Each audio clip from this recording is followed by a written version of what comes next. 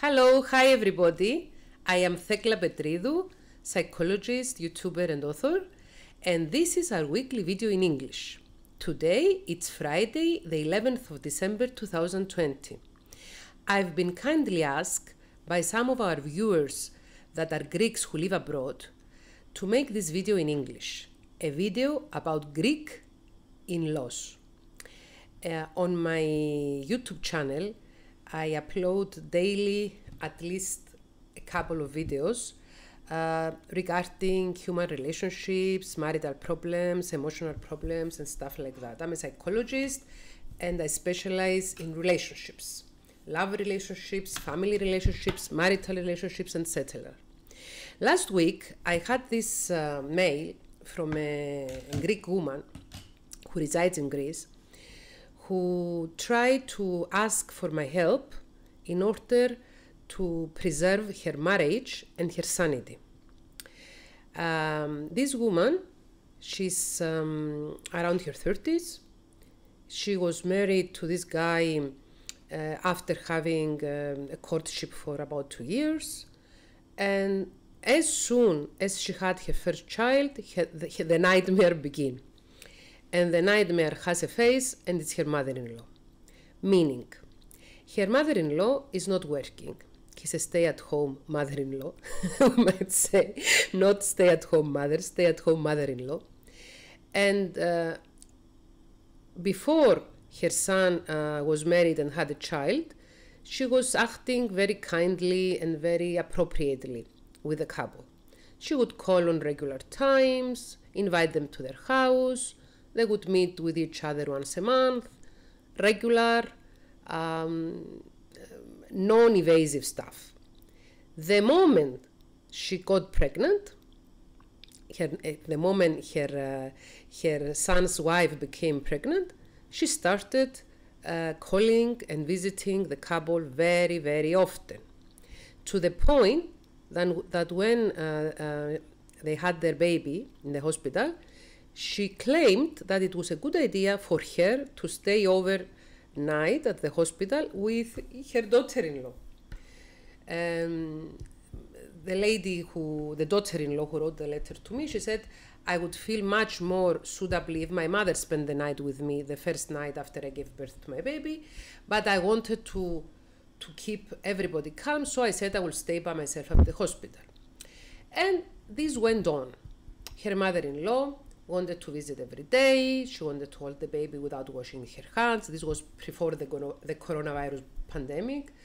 She, she insisted on having her relatives over to her daughter-in-law's house to visit the baby and the, her daughter-in-law started feeling suffocated. At the same time, when she had her baby, she was also giving exams uh, for, for a graduate uh, program she was studying. I think it was a master's degree.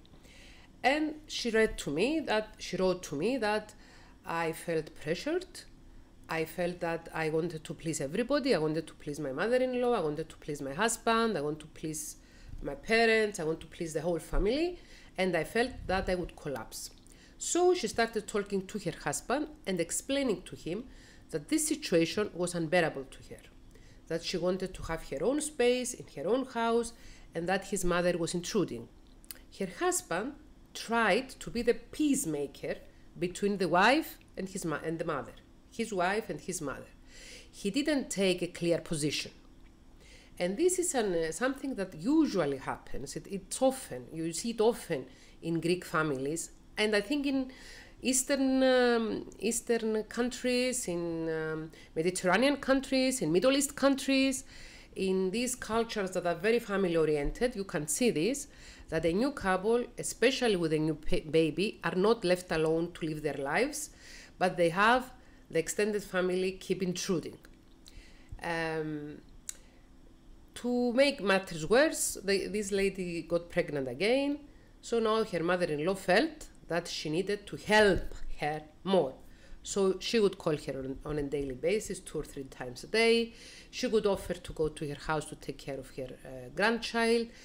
And she would make um, complaints that her, um, her daughter in law would visit her mother more often than her mother in law. And um, this went on and on. They start the, the couple started having problems between them. They started fighting because she was expecting from her husband to put some limits to his mother. Her husband was trying to please his mother and at the same time please his wife, and they ended up in a rough patch. So at that time, she decided to stop being polite. According to my opinion, she decided to stop being a people pleaser.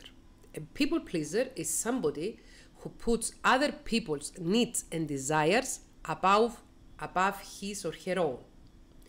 You are a people pleaser if what first comes to your mind is what would my husband want? What would my father want? What would my son want? What would my daughter want? What would my mother want? What would my mother in law want? What would my friend want? If what you th- first think of is how to please other people, it's most possible that you are a people pleaser. People pleaser, people pleasers are, we are, because uh, also I find myself sometimes to be quite a people pleaser. We are uh, people who lack self esteem and we think that by making other people happy, we will be happy ourselves. But this is not the case. When you try to make other people happy, you surely leave your, your, yourself unhappy and most of the time other people as well. In life, we are called to make decisions. For example, what is more important for me right now, my sanity or pleasing my mother in law? What's more important for me right now, the, my marriage and happiness in my marriage or pleasing my mother?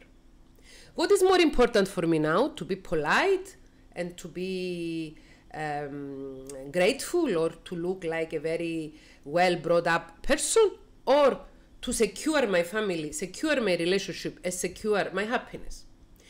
I really do believe and I strongly suggest that we put ourselves, our relationships, our marriages, our primary relationships above other people. When somebody decides to get married, either he's a man or a woman, according to my opinion as a psychologist and according to our Western culture, you decide that your first family, your most important family is the new family you create. You, your partner, and your children, if you have any. First is you and your partner, and then is your mother, your mother in law, your father, your father in law, and the other relatives. Uh, you cannot continue having the same position in your parents' family that you had before you got married, after you get married. This is a plea to husbands, sons. When you decide to get married, you should divorce your mother first. Divorce in brackets. You should have been able to disconnect from your mother and not being so attached to her. My dear man, it's not your job to make your mother happy. It's not your job to fulfill your mother emotional needs, your mother's emotional needs. Your job is to make yourself happy and to take care of your relationship, as well as your wife's job is to make herself happy and also take care of your relationship. In, uh, in Greek culture, in Greek tradition, in Greek society, we have this phenomenon very often that men are so much attached to their mothers or their uh, parental family, and women, sometimes also women, can be very attached to their own parental family. So you find a couple that they're married together, that they might have children together, they might have a life together, a house together, everything together. But when something uh, goes wrong, he goes to his family, she goes to her family. These people are not happily married. These people are cheating on their partners with their parents. I know that this might, this might sound a little bit uh, too progressive for some Greek people listening to this video, or I might look like someone who's, who doesn't um, respect family. I respect family values very much. I respect family values to the, the most. This is why I root for family first. And our immediate family, when we get married and have children, is our spouse and our children, not our parents, not our siblings, not our aunts, not our grandparents. Our immediate family is our wife, our husband, our kids. We should be careful to um, make barriers to anybody else who does not belong to the immediate family so that they do not disrupt the functionality of our family, our happiness, and our well being. Um, being polite and being grateful and being thankful is a trait that most Greek people um, are taught through their uh, upbringing. We were taught to be good children, good um, students, good uh, daughter in laws, good son in laws, and not mostly good to ourselves. Uh, I think that there are some parts of our upbringing that we need to reconsider. And one of these is being a polite person. When your family, your sanity, and your well being is at risk, it's a good idea to choose not to be polite anymore, not to be a people pleaser. You don't have to be impolite. You can be assertive and say affirmatively no. Thank you, but no, I don't want you to come over.